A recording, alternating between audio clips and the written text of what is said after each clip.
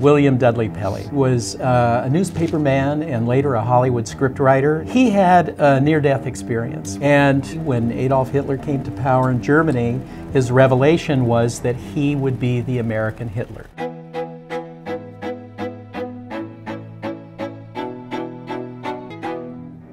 In the mid 1930s, Washington state was just a bubbling, fermenting political pot. High unemployment, a lot of labor unrest, discontent just across the political spectrum. You also had global events. People here were uh, connected to and reading about the rise of uh, fascism in Europe. And some people uh, were appalled by these events, other people were inspired by them. So Pelley created this group called the Silver Legion. It was for white Christians, and it was essentially an American, homegrown, fascist group.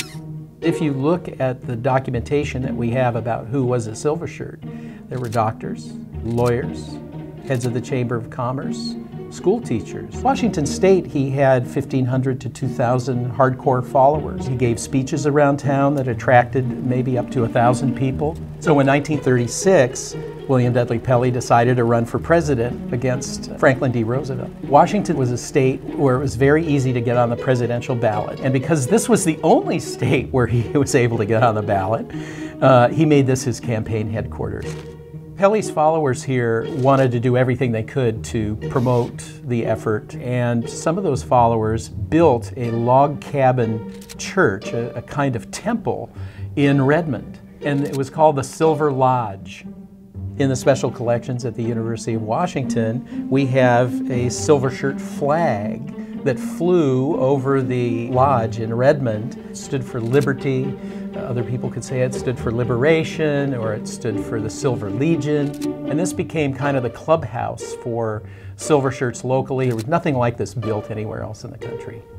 There was local backlash and national backlash to the silver shirts. People were concerned about the kind of anti Semitism that they were spreading around the country. This lasted really right up until Pearl Harbor.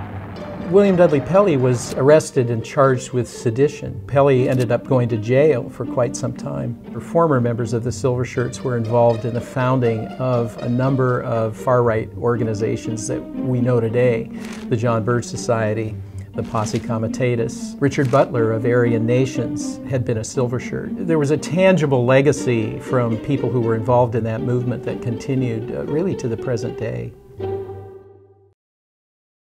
The family that built the Silver Lodge, they donated a big chunk of their farmland to the city of Redmond for a public park. And it's named after the, the man who was in charge of building the Silver Lodge, uh, Arthur Johnson.